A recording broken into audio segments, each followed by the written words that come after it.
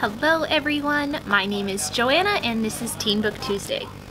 Since it is unpleasantly warm today, I have for you a book about the unpleasant cold and a number of other unpleasant things.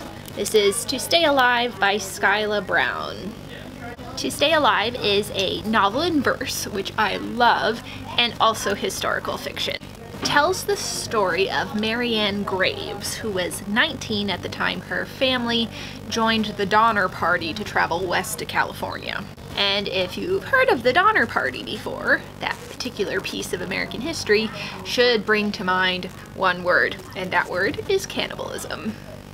And you know, starvation, extreme cold, survivalism, doing whatever it takes to survive, and a healthy fear of shortcuts. The Donner Party was a group of pioneers who traveled west in the 1800s in covered wagons. Unfortunately, they are running late in arriving to California and decide to take an untested shortcut that was recommended to them at one of the forts they passed. Long story short, the shortcut takes them several weeks longer than the main trail would have taken them, and the families are snowed in due to like 20 feet of snowfall in the Sierra, Sierra Nevada mountains. In To Stay Alive, we see the story unfold from the perspective of Mary Ann Graves, who is traveling with her parents and eight siblings.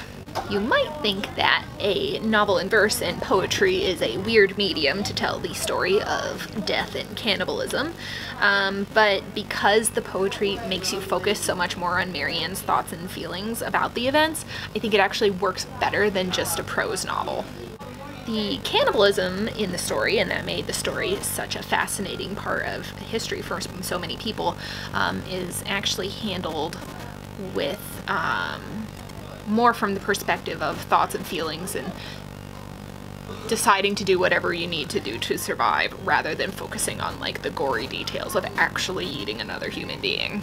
Make no mistake, it's a heart-wrenching story, but I thought it was handled particularly well. I would recommend this one to you if you like novels in verse, historical fiction, survival stories, and if you've heard of the Donner Party but don't know much about what actually happened to them. That's all for this week. I hope you're all staying cool and you're enjoying the last few days of summer. Bye!